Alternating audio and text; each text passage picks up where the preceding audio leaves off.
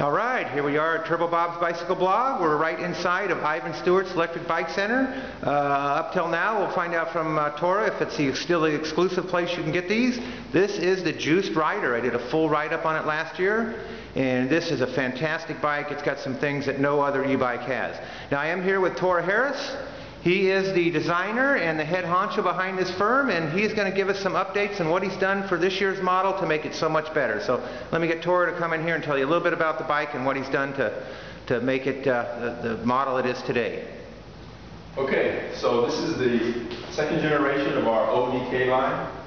Uh, what we did, what we wanted to focus on this year was making it easier to use, making it more compact, making it more robust, and also just making it a really uh, solid car replacement tool. A lot of bikes out there are, are uh, more like leisure and fitness.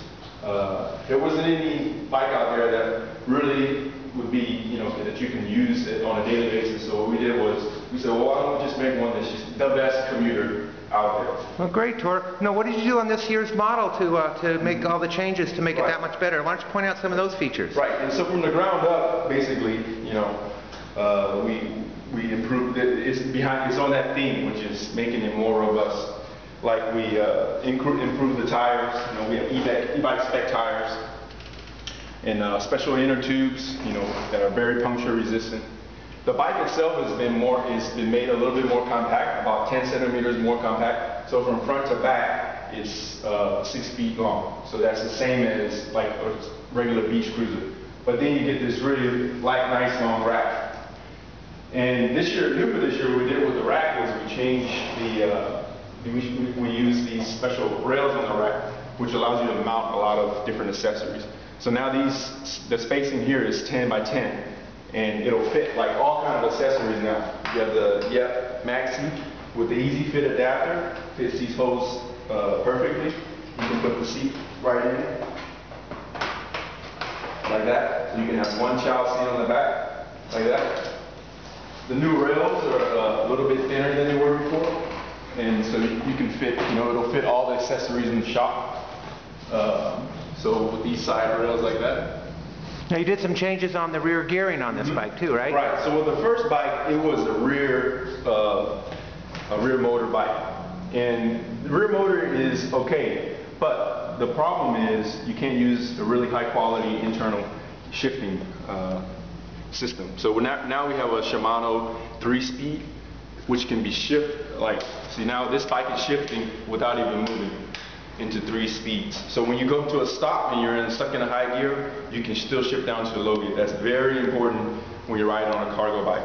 Now, you changed the control system on this too, right? The control, now the battery is, uh, before the battery was 36 volts. And we had a lot of people say, oh, it's not fast enough. So we said, okay, we bump it up to 48 volts standard. And what we did was we made the battery part of the bike.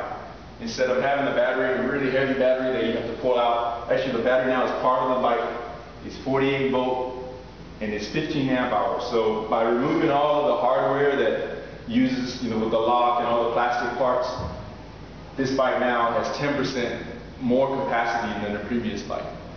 Um, and the charge port now, instead of being on the side, which took up space, is now on the back.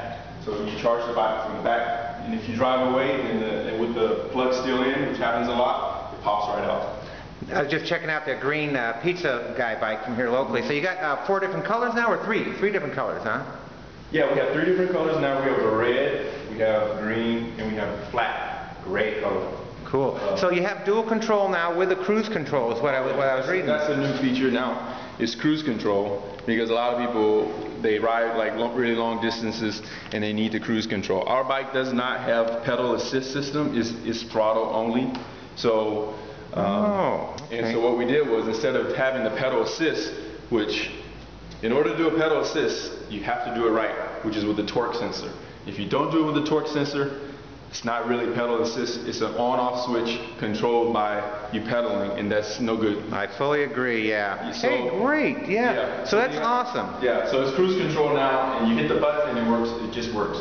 Okay, well, Tora brought this bike down to Ivan Stewart's for me to spend a week or so with it, and you better believe I'm going to ride the heck out of it. I really love last year's model, and uh, I saw this at Interbike In Fact. I saw Tora riding around downtown, and he wouldn't even let me take pictures of it before Interbike, so now it's mine to play with. I sure thank Tora for setting us up and giving us a rundown, and uh, you can be sure that uh, I will tell you everything there is to know about the Juiced Rider. All right, hey, thanks for watching. Remember to Google me, Turbo Bob's Bicycle Blog, and thanks a lot, Tora. We sure appreciate it.